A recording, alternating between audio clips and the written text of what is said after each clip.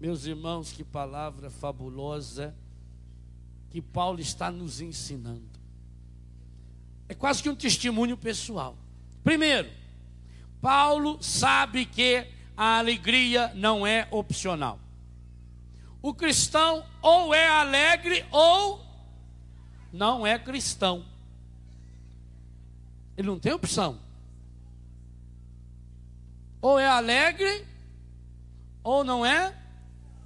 Igual um dia no avião, a aeromoça veio trazer o lanche. Aí do meu lado estava um senhor muito imponente assim. Ele falou: tem opção? Ela falou: sim. Ou só aceita ou não aceita.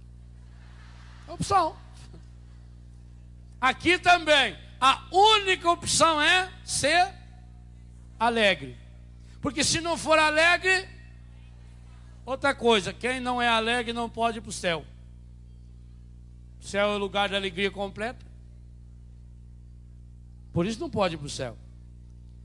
Se ser cristão é ser igual a Jesus, qual é a marca registrada de Jesus? Alegria.